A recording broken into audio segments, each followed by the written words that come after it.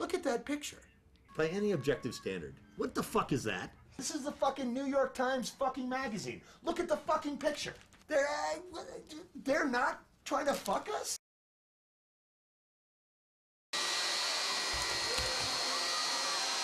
You know why I think Ohio's going to go just great?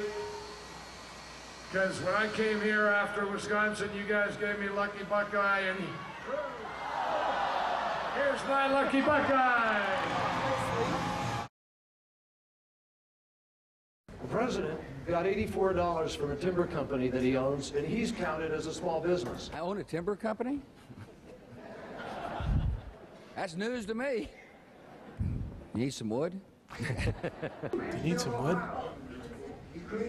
It's weird. Timber company? What the fuck was he talking about?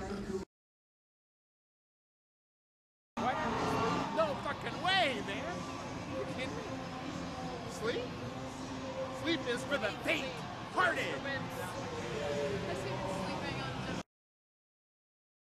How big is the pony? Get the fucking pony and put it in the hotel room. I don't. What? No, just get a pony, put him in there. Yeah, yeah. He needs to have a bridle on and just tie him to the fucking bed. You know how hard it was to try and find a live farm animal? Anatomically correct.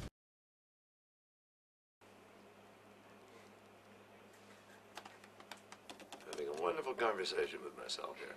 So what do you think about this election? Well, I think it's great. We're gonna. Any surprises that you found along the way? No, but the polls show this. But you don't believe in polls. Well, I don't believe in polls. But what do you think about this? You know, do you like President Bush? I don't know President Bush. How could you accuse us of being war criminals?